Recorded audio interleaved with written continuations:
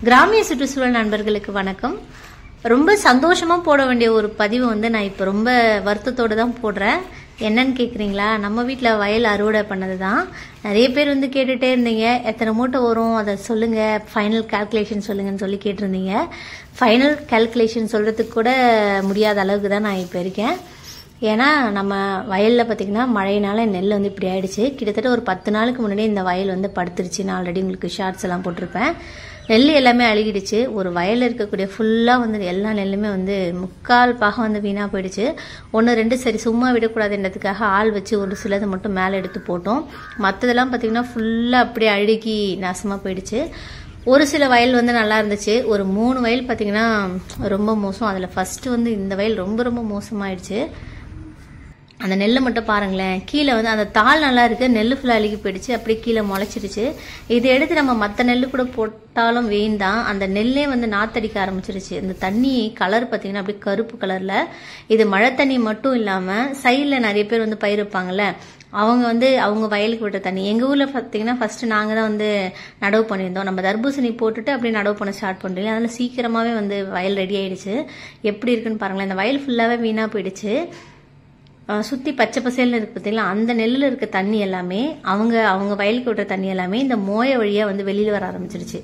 மோயனா என்னன்னு தெரியும்னு நினைக்கிறேன். இந்த வ- நண்டு வலை. அந்த கனெக்ஷன் இது பள்ளமாக இருக்கிறதுனால அந்த வயலில் இருக்க தண்ணி எல்லாம் இதில் வந்து ஃபுல்லாக வந்து கசிஞ்சு கசிஞ்சு கசிஞ்சு தண்ணி வந்து வத்தவே இல்லை. அப்படியே வந்து இருக்க நெல் எல்லாமே அழுகி போயிடுச்சு. மற்றவங்களால நம்ம வயலும் வீணாக போயிடுச்சு. இதுலேயே வந்து ஒரு பத்து மூட்டை நெல் விளையும் இந்த ஒரு வயலில். அது ஃபுல்லாகவே வந்து போயிடுச்சு எங்களுக்கு. சரி நம்ம வச்ச பயிரை வந்து வீண் பண்ணக்கூடாதுல்ல. அதனால் எடுத்தாது மேலே போட்டுருமேன்னு சொல்லி ஆள் விட்டு அதை அறுத்து ஒரு சிலது நல்லா இருக்கிறத மட்டும் வச்சுருக்கோம். மற்றது எல்லாமே அப்படியே வீணாக தான் போயிடுச்சு. இதனால எனக்கு வந்து இந்த டைம் நிறைய லாஸு இந்த வயல் வந்து இப்படி இருந்துச்சு. மற்றதெல்லாம் பார்த்தீங்கன்னா ஓரளவுக்கு கொஞ்சம் பரவாயில்ல. அதுவுமே வந்து கீழே படுத்துட்டு தான் இருந்துச்சு. ஆனால் வந்து தண்ணி இல்லை ட்ரையாக தான் இருந்துச்சு. அதை வந்து நாங்கள் மிஷின் வச்சு அறுத்துட்டோம். சரி இதுதான் வேஸ்டா போச்சே நம்ம மிஷின் வச்சு அறுத்ததாவது நல்லா இருக்கும்னு பார்த்தேன். அந்த மிஷின் சரியில்லையா? இல்ல கீழே படுத்ததுனால தான் அப்படி நெல் கொட்டுதான்னு தெரியல. அந்த அளவுக்கு நெல் நிறைய கொட்டி போயிடுச்சு.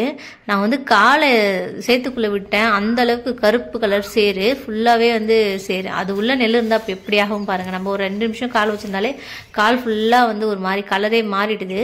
இந்த சேத்துக்குள்ள வந்து அவ்வளோ நேரம் அந்த நெல் ஒரு பத்து நாளாக இருந்ததுனால ஃபுல்லாக அழுகி போயிடுச்சு. இப்போ இந்த ரெண்டு லாஸ்ட் ரெண்டு வயலை பாருங்களேன். ஃபுல்லாகவே படுத்து தான் இருக்குது உங்களுக்கு வீடியோவில் சரியாக தெரியலான்னு தெரில ஃபுல் சரி அந்த மூலையில் போய் அறுக்கலாம்னு சொல்லி நான் போனேன். கடைசியில் பார்த்தீங்கன்னா ஃபுல்லாக படுத்துருந்துச்சு. இது மேலே நடந்தே போக முடியாது. அப்படியே ரிட்டர்ன் வந்தாச்சு. இந்த மாதிரி படுத்திருக்கிறது வந்து மிஷின் விட்ட உடனே என்ன ஆச்சுன்னா அப்படியே அந்த வைக்கோல் வந்து சரியாக அறுக்காமல் மேலேயே அந்த வைக்கோலை வந்து நெல்லுக்கு மேலேயே போட்டு போட்டு போட்டு போயிட்டாங்க. அதை நம்ம மிஷின்காரங்க கிட்ட கேட்டால் நெல் வந்து படுத்துருக்கு. நாங்கள் மூவிங் கூட போட்டு அறுத்து பார்த்தோம். கமெண்ட்டில் சொல்லியிருந்தீங்க ஷார்ட்ஸை பார்த்துட்டு. நீங்கள் வந்து பெல்ட் மிஷின் வச்சு அறுத்துருக்கலாம்னே. அதுவுமே வந்து ட்ரை பண்ணி அது வந்து தண்ணியில் தான் இருக்குமாம்மா இந்த மாதிரி ட்ரையாக தான் இருந்துச்சு வயல். தூக்கி தூக்கி அறுக்கலாம். ஆனால் அந்த மிஷின் அறுக்க தெரியலையா? இல்லை நம்ம தாள் கொஞ்சம் பச்சையாக இருந்ததுனால ஃபால்ட்டான்னு தெரியல. நிறைய நெல் குட்டி போயிடுச்சு. எப்படியும் ஒரு பத்து மூட்டை நெல்லாவது நமக்கு வந்து இந்த டைம் வந்து லாஸ் ஆகிருக்கும் அது எல்லாமே வந்து மனசுக்கு கொஞ்சம் கஷ்டமாக தான் இருந்துச்சு. சரி இது ஆளுங்க அறுத்துட்டு இருக்கிறதுக்குள்ள நானும் வீட்டுக்கு போயிட்டு அவங்களுக்கு தேவையான டீலாம் போட்டு வந்து கொடுத்துட்டேன். இந்த அளவுக்கு இந்த டைம் வந்து நான் ரொம்ப வந்து டீப்பாலாம் வீடியோவே எடுக்கல. டீ போட்டு வந்து கொடுத்துட்டு சமையலும் செய்ய ஸ்டார்ட் பண்ணியாச்சு. அவங்களுக்கு சமையல் பார்த்தீங்கன்னா ஒயிட் ரைஸ் ரசம் சிக்கன் குழம்பு அதான் எடுத்துகிட்டு வந்திருந்தேன். ரொம்ப பாவம். ஆனால் அவ்வளோ நேரம் தண்ணிக்குள்ளேயே வந்து காலையிலேருந்து ஈவினிங் ஒரு அஞ்சு மணி வரைக்குமே தண்ணியிலேயே தான் கஷ்டப்பட்டு அறுத்து எடுத்தாங்க. ஒரு வழியாக கம்ப்ளீட் பண்ணிட்டாங்க. எனக்கு பாவம் பார்த்து அறுத்து கொடுத்துட்டாங்க. அப்புறம் நானும் என்ன பண்ணேன் சாப்பிட்டு எடுத்து போய் எல்லாத்தையும் வீட்டில் வச்சுட்டு திரும்பவும் நானும் வந்து வயலுக்கு கிளம்பியாச்சு. காலையிலேருந்து வயலுக்கு போகல மதியத்துக்கு மேலே தான் போயிட்டு சாப் அறுக்கலாம் அப்படின்னு சொல்லிட்டு கிளம்பிட்டேன். ஏன்னா நான் வீட்டில் இருந்தேன்னா எனக்கு மனசு கேட்காது அங்கே எப்படி இருக்கும் அப்படின்ட்டு. சரி நம்மளும் போய் கொஞ்சம் அறுப்போமே அப்படின்ட்டு போயிட்டேன். ரெண்டு மணிக்கெலாம் வயலுக்கு வந்தாச்சு. ரிட்டன் நான் வீட்டுக்கு போகும் வந்து பார்த்தீங்கன்னா ஏழு மணிக்கிட்ட ஆயிடுச்சுங்க. அவ்வளோ நேரம் வந்து வயலில் சைட்லலாம் அறுத்துருந்தோம். முன்னாடி வந்த மிஷின்லாம் அதாவது போன வருஷம்லாம் வர மிஷின் வந்து சைட்லலாம் க்ளீனாக அறுத்து கொடுக்கும். ஆனால் இந்த மிஷின்காரவங்க சரியாகவே ஓட்டல. நான் சொன்னாலும் டிரைவர்கிட்ட என்ன சொல்கிறாங்கன்னா இது வந்து படுத்துருக்கு. அப்படி தான் இருக்கும் அப்படி தான் இருக்குன்னு சொல்லி சொல்லியிருந்தாங்க. ஃபுல்லாகவே சைடு ஃபுல்லாக விட்டுறாங்க. அது நானும் அப்பா அம்மாலாம் அறுத்துருந்தோம். அந்த ஆளுங்க வந்து நாலு பேரும் அந்த தண்ணிக்குள்ளே இருக்கிறத வந்து அறுத்துருந்தாங்க. அதை அறுத்து அடு எடுத்துகிட்டு வந்து இது கூட சேர்த்து அடிக்க முடியுமான்னு பார்க்குறோம். அதாவது ஒரு சிலது மட்டும் மற்றதெல்லாம் அழுகி பிடிச்சதுனால மற்றதான் விட்டுற வேண்டிதான். இந்த டைம் வந்து கண்டிப்பாக பத்து மூட்டைக்கு மேலே லாஸ் ஆகிடுச்சு எனக்கு. நிறைய இடத்துல வந்து நெல் கொட்டி போயிடுச்சு. நிறைய வந்து இப்போது இந்த படுத்துருந்துக்குல்ல அதை அறுக்குறாங்களே அதுக்கு மேலேயே வந்து வைக்கோல் உதறிட்டே போயிடுது. தாளோட நெல் இருக்குது அந்த நெல்லுக்கு மேலே அந்த வைக்கோல் வந்து அப்படியே மூடிக்கிட்டே போகுது. அதுதான் பிரச்சனையே. நம்ம போய் டிரைவர்கிட்ட சொன்னாலும் இது வந்து ரொம்ப பச்சையாக இருக்குது கீழே படுத்துருக்கு அந்த மாதிரி கம்ப்ளைண்ட் வருது. இங்கே மேலே இருக்க நாலு தலை வந்து ஓரளவுக்கு காஞ்சிருக்கு. அதனால ஒன்றும் பிரச்சனை இல்லை. கீழே இருக்கிறது எல்லாமே வந்து சேராதான் இருக்கு. அதுக்கு வந்து மூவிங் போட்டு தான் இருப்போம் நிறைய பேர் சொன்னீங்க அக்கா பெல்ட் மிஷின் வச்சு அறக்கலாமேன்னு சொல்லி கமெண்ட்ல சொல்லியிருந்தீங்க. பெல்ட் மிஷினும் ட்ரை பண்ணி பார்த்தோம். அதாவது தண்ணியில தான் வந்து பெல்ட் மிஷின் அறக்குமாமா இது வந்து இதுலயே மூவிங் போடுறாங்க. சேர்லையே. அதெல்லாம் ரொம்ப மோசம்.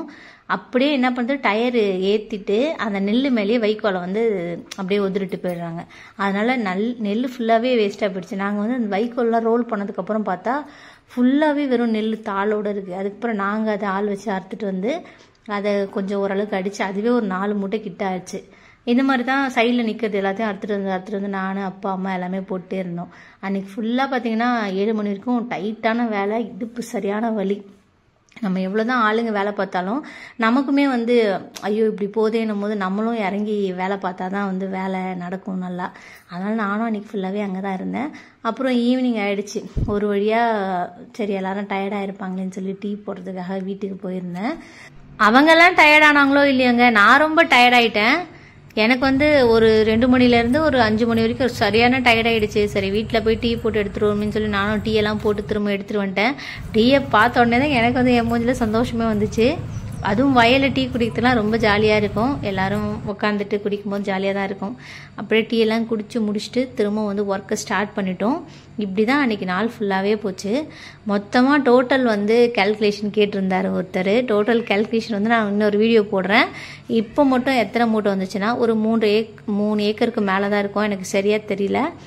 எழுபத்தி ஏழரை மூட்டை வந்துச்சு. அதாவது நாங்கள் எடைக்கு போட்டது மட்டும் நான் சொல்கிறேன் அப்படியே பார்த்தா கூட எழுபத்தெட்டு மூட்டை வந்திருக்கும். ஆனால் கீழே கொட்டினது பார்த்தீங்கன்னா பத்து மூட்டை கிட்டவாது இருக்குங்க. போன டைமில் பார்த்தீங்கன்னா தொண்ணூத்தெட்டு மூட்டை கிட்ட வந்துச்சு. ஏக்கருக்கு இருபத்தஞ்சு மூட்டை வந்தாலே லாபம்ன்ற மாதிரி சொல்லுவாங்க. ஆனால் எங்கள் ஊர்லலாம் பார்த்தீங்கன்னா நல்ல மண் வளம் நல்லா இருக்கும். ஏக்கருக்கு முப்பத்தஞ்சு கூட நல்லா வளரும். ஆனால் போன டைமுக்கு இந்த டைமுக்கு எங்களுக்கு வந்து கொஞ்சம் லாஸ் தான்.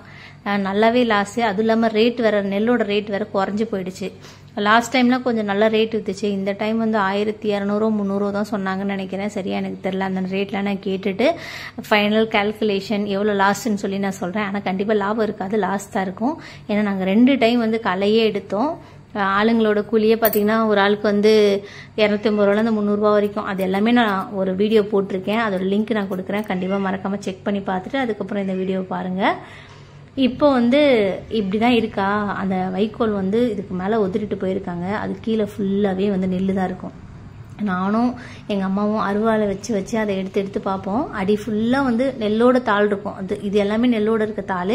அதுக்கு மேலேயே அறுவடை பண்ண அந்த வைக்கோல் இருக்கும். இப்படியே போட்டாங்க. இதான் கீழே ஃபுல்லாகவே வந்து சேரு சேர்லேயே வந்து அப்படியே ஒன்றும் பதமாக அறுத்துட்டாங்க ஏன்னா நம்ம வயல் இப்படி தாங்க இருந்துச்சு. பார்த்தீங்கன்னா தெரியுது. அப்படியே பாய் போட்ட மாதிரி படுத்துருந்துச்சு. கேட்டால் அவங்க சொல்கிறது நானா? ஃபுல்லாகவே வந்து படுத்துருக்கு. கீழேயும் சேராக இருக்குது நாங்கள் என்ன பண்ண முடியும்? இப்படி தான் அறுக்க முடியும்.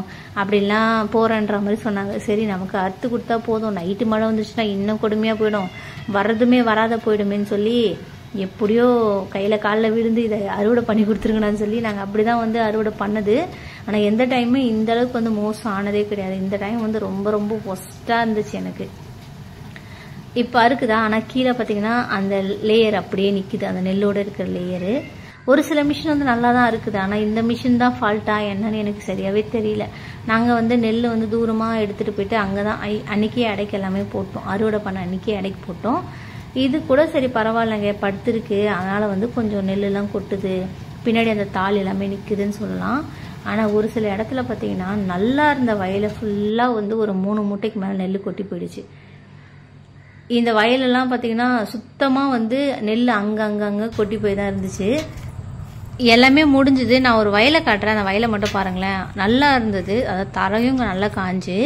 ஆனால் அந்த இடத்துல மட்டும் அவ்வளோ நெல் கொட்டி போயிடுச்சு. அதை வந்து பெருக்கிறதுக்காக நான் எங்கள் ஆயா எங்கள் அம்மா மூணு பேரும் வந்து பெருக்கி மூணு மூட்டை அளவுக்கு வந்து நெல் மட்டும் எடுத்தோம். அந்த இடத்துல மட்டும். இந்த வயல் தான் அது. பார்க்கறதுக்கு நல்லா காஞ்சி தானே இருக்குது ஆனால் இதுலேயுமே வந்து அந்த அறுவடை பண்ண ஆள் வந்து நெல் அந்த ஃபுல்லாக கொட்டிட்டான். வெறும் தாள். கேட்டதுக்கு பச்சையாக இருக்குது அப்படின்ட்டாங்க. பச்சையாலாம் இல்லை மற்றது அறுத்த மாதிரி தான் இதுவுமே இருந்துச்சு. ஒருவேளை மிஷினில் ஏதாவது ஃபால்ட்டா என்னன்னு தெரில ஆனால் ஃபேஸ்புக்கில் மட்டும் ஒருத்தர் கமெண்ட்டில் சொல்லியிருந்தாரு. மிஷின் தான் ஃபால்ட்டு அப்படின்ட்டு. இப்படி தான் வந்து நெல் பெருக்கி எடுத்தாங்க எங்கள் அம்மா. ஃபுல்லாகவே நெல் தாங்க அப்படியே மனசே கஷ்டப்பட்டு இருந்துச்சு எனக்கு. அவ்வளோ நம்ம ஒவ்வொரு நெல்லாக பார்த்து பார்த்து இது பண்ணுமே என்னடா இவ்வளோ கொட்டியிருக்கேன்னு. இந்த மாதிரி அப்படியே பெருக்கி பெருக்கி பெருக்கி ஒரு மூணு மூட்டை நெல் அளவுக்கு எடுத்தோம். இதை பெருக்கி அங்கே தூத்துறாங்க பார்த்தீங்களா எங்கள் ஆயா வந்து தூத்திருந்தாங்க இதை அப்படியே எடுத்துகிட்டு போயிட்டு வீட்டில் காய வச்சோம். இப்படியே வந்து ரெடி பண்ணது வந்து மூணு மூட்டை இருக்கும். அப்போ எத்தனை மூட்டை வந்து மண்ணுக்குள்ளே போயிருக்குன்னு பாருங்களேன். அவ்வளோ நெல் வந்து செதறிச்சு. நம்ம பார்த்து பார்த்து ஒரு ஒரு பயிராக பண்ணி கடைசியில் இந்த மாதிரி வந்து இயற்கை பாதியும் செயற்கை பாதியும் வந்து நம்மளை அடிச்சுட்டு போயிடுது. இப்படி தாங்க பாய் போட்ட மாதிரி நெல் கொட்டிடுச்சு. இந்த வருஷம் வந்து ரொம்ப உழைப்பு வந்து வீணாக போயிடுச்சுன்னு நினைக்கும் போது ரொம்ப கஷ்டமாக இருக்குது இதனால தானோ என்னவோ தெரியல. விவசாயம் பண்ணுறதுக்கு வந்து ஆர்வம் வந்து அந்தளவுக்கு இருக்க மாட்டேங்குது. ஒரு சில விவசாயம் பண்ணணும்னு நினைக்கிறவங்களையும் வந்து இந்த மாதிரி இதை பார்த்தோன்னே எனக்கு என்ன தோணுதுன்னா ஆமாம் எதுக்கு நம்ம வந்து இவ்வளோ கஷ்டப்படணும்? நம்ம எங்கே வீட்டிலே உட்காந்து எங்கே வேலைக்கு போனால் நம்ம ஜாலியாக இருக்கலாமே. எதுக்கு இப்படி? அப்படி தான் வந்து எனக்கே தோணுது. அப்போ எல்லாருக்குமே அப்படி தானே தோணும்? இது இப்படி தாங்க பெருக்கி பெருக்கி எடுத்துடணும். ரொம்ப ஒரு கஷ்டமான சூழல் தான் இருந்துச்சு இந்த டைம் இருந்தாலும் வேறு வழி இல்லை. நம்ம வந்து பயிர் பண்ணலன்னா நல்லா இருக்காதுல்ல? அப்படின்றதுக்காக வந்து பயிர் பண்ணுற மாதிரி தான் இருக்குது அடுத்து வந்து ஒருத்தர் கமெண்ட்டில் கேட்டிருந்தாரு அடுத்த பயிர் என்ன பண்ண போகிறீங்கன்னு அடுத்த பயிரும் நெல் தான். நெல்லுக்கு அப்புறம் தான் திரும்ப வந்து தர்பூசணி போடுற மாதிரி இருக்கும். கண்டிப்பாக வந்து சப்போர்ட் பண்ணுங்கள் நம்ம சேனலுக்கு வந்து சப்போர்ட் பண்ணி ஆதரவு கொடுத்துட்டே இருங்க. இது எல்லாத்தையும் கலெக்ட் பண்ணி எடுத்துகிட்டு போயிட்டு வீட்டில் கொட்டினதுக்கப்புறம் எவ்வளோ நெல் இருக்குன்னு நான் உங்களுக்கு காட்டுறேன். இது கொஞ்சம் நல்லா காஞ்ச தரையாக இருக்கிறதுனால பெருக்கி எடுத்துட்டோம். மற்றபடி ஈரத்தில் இருந்ததெல்லாம் ஒன்றுமே பெருக்க முடியல. அவ்வளோதான் அவ்வளோதான் ஃப்ரெண்ட்ஸ் இந்த வீடியோ அப்படின்னு சொல்லி வீடியோவில் கமெண்ட் பண்ணுங்கள் தேங்க்ஸ் ஃபார் வாட்சிங் ஃப்ரெண்ட்ஸ்